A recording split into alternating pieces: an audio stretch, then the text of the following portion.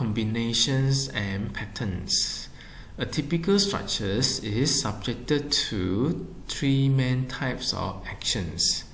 These involve the permanent actions, variable actions, and the wind actions. These actions are to be considered under different combinations in order to simulate all kinds of possibility that the structures can be loaded. This is particularly important in the analysis of the structures in order to identify the worst case scenario acting on the structures. Basically, there are two types of stability analysis which involve the vertical load and the overturning load.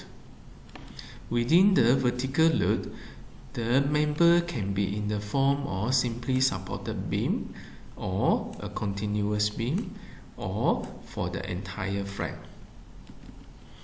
In these chapters, we will cover the analysis of all this kind of analysis. As for the vertical load for a simply supported beam, the calculations is rather straightforward. We will apply a maximum load of 1.35 and 1.5 GK and QK throughout the span of the member in the ultimate limit state and find the reactions of the member and then draw the shear force and bending moment diagram. In analysis for the serviceability limit state, the factor of safety is used as 1.0 for the GK and QK. This analysis normally will result a high moment at the midspan of the beam and high shear force at the end of the beam. The structural element is designed against the maximum moment and maximum shear load for the entire beam. As for the continuous beam, which is subjected to the vertical load, various combinations of the loads needs to be considered. You will need to run the analysis for several times in order to identify the most serious conditions acting on the structures. The combinations of the loads basically involve the maximum and minimum load. It can be applied as a maximum throughout or apply as the alternate maximum and minimum which is starting with the maximum or analyze as an alternative between maximum and minimum which started with minimum or by having two continuous span with maximum which move along the spans determine the reactions due to the different combinations draw the shear force diagram for each of the load arrangement and the bending moment diagram for each load arrangement and then overlay the shear force and bending moment diagram together to produce the envelope shear force and bending moment diagram for the member. While designing for the member, normally we look for the most critical shear force and the moment within their specific positions. Analyzing different kind of load conditions is necessary as the most critical load can happen along the member under different load conditions. The worst case scenario will be identified by superimposing all the shear force and bending moment diagram. What you see here, you have two load sets, load set 1 and load set 2. You may choose to use either set of the load arrangement for you to analyze the member. If you choose to use load set 1 for a 4-span continuous beam, you will require to analyze at least 5 load arrangements. The first two is the alternate between maximum and minimum. And then the later three is the two continuous maximum load span which move along the members. If you have more span along the members, you will have more load conditions to be analyzed. Alternatively, you may choose to use load set 2. The load set 2 analyze the maximum load for the entire span and then alternate the maximum and minimum with the starting of maximum and minimum for the second and third analysis. These two load sets provide you systematic guideline for you to run over the analysis for a continuous member that give you a higher possibility of determining the most critical situations acting on the member.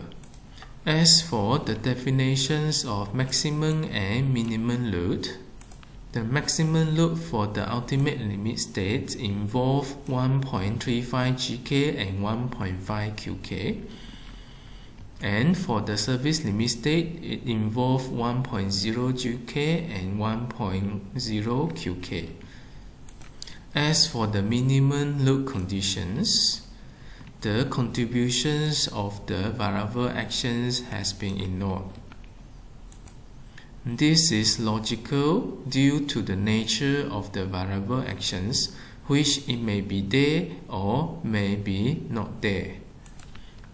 As for the permanent load, it will be always there. With that, the maximum load conditions are referring to the full arrangement of the variable actions while the minimum conditions is assuming that there is no variable actions imposing on the structure. In comparison to simply supported beam, a continuous beam will involve a tedious long calculations which is typically conducted under different load conditions. It consumes long time for the manual calculations. However, with the help of Excel spreadsheet or some other computer simulation software, the result can be obtained instantaneously. Next, we look into the overturning load acting on a structure. To analyze this kind of load, first you need to determine the type of actions, whether it is permanent actions, variable actions, or wind actions. The reason being is there are different factors of safety to be applied due to different types of actions. Within each type of actions, there are favorable and unfavorable actions. The favorable actions will reduce the load that you would like to analyze, while the unfavorable actions it will increase the load that you are analyzing.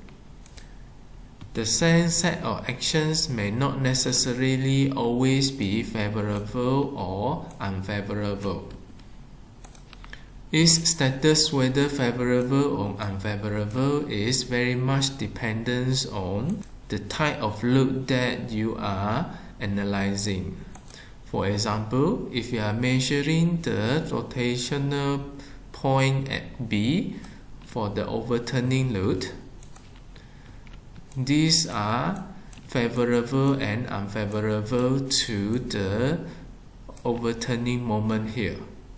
However, if you analyze the wind load in these directions for the overturning rotations at point A, the conditions whether favorable and unfavorable will change.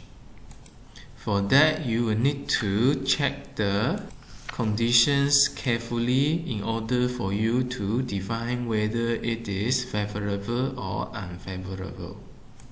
This is important because the unfavorable actions normally will have a higher degree of factor of safety while the favorable conditions we will have lower degree of factors of safety. For the variable actions which are favorable, their contributions normally are ignored. Through this, we maximize the situations which is unfavorable and minimize the situations which is favorable. This will give us the most critical situations that the structure could undergo under various kind of actions. And then we need to test under different combinations of actions involving the permanent actions, variable actions, and also wind actions. These are the least four combinations that you need to consider for a structures, which involve the GK and QK alone, or GK and wind load alone, or combinations of GK, QK, and wind load. For the third and fourth conditions, we will need to define the leading variables and the accompanying variables. For the third conditions, we will use this as a leading variables while the wind as a accompanying variables. The accompanying variables will be multiplied with a reduction factor psi and then for the combination D, the wind now is considered as a leading variables while the variable actions is considered as a accompanying variable actions. With that, there will be a reduction factor of psi is applied to the variable actions. Among all these four combinations of the actions, the largest rotating moment that cause the structures to overturn is identified.